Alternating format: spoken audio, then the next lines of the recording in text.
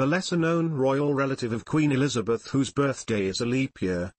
The royal baby, who celebrates his 60th birthday today, is believed to be the first royal baby ever born on February 29. Welcome to Royal Flames. Please don't forget to subscribe and click the notifications bell, so you don't miss any inside about the British royal family. James Ogilvy smiles with his wife Julia Ogilvy. James Ogilvy celebrates his 60th birthday today. For most of us, the arrival of February 29th means one extra day on the calendar, but a lesser-known member of the extended British royal family with links to Queen Elizabeth II is celebrating a somewhat rare birthday in a leap year. Queen Elizabeth's cousin, Princess Alexandra, gave birth to the only royal child on record in a leap year, in 1964, meaning he celebrates his 60th birthday today.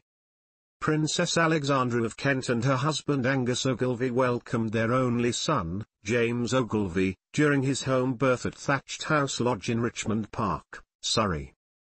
BBC News reported that Angus called the late Queen shortly after his birth at 12.15 pm to tell her the exciting news. Later, a telegram containing news of the birth was sent to Mr. Ogilvy's parents, the Earl and Countess of Airlie, who were sailing from South Africa to England at the time. James Ogilvy does not hold any royal titles, but he will be invited to major royal events alongside his wife, Julia Rawlinson. James married Julia, the daughter of a merchant banker, on the 30th of July 1998, at St. Mary's Church in Saffron Walden, Essex. The king, who maintains a lower profile than his extended royal clan, has chosen to live a life outside intense public scrutiny and works as a British landscape designer and is the founder and editor of Luxury Briefing magazine. He and his wife Julia have two children, Flora Westerberg and Alexander Ogilvy, born in 1994 and 1996 respectively. Flora married Swedish financier Timothy Westerberg in a simple ceremony at St. James's Palace on the 26th of September 2020 amid the coronavirus pandemic, and held a ceremony the following year.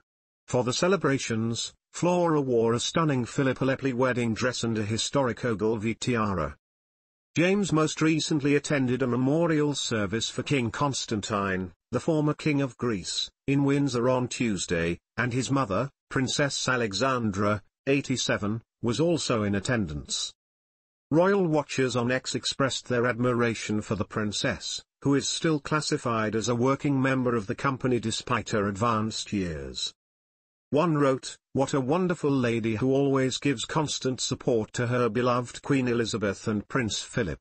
And now she still supports the family whenever she can. Throughout Queen Elizabeth's reign, Alexandra often represented her at events in the United Kingdom and around the world.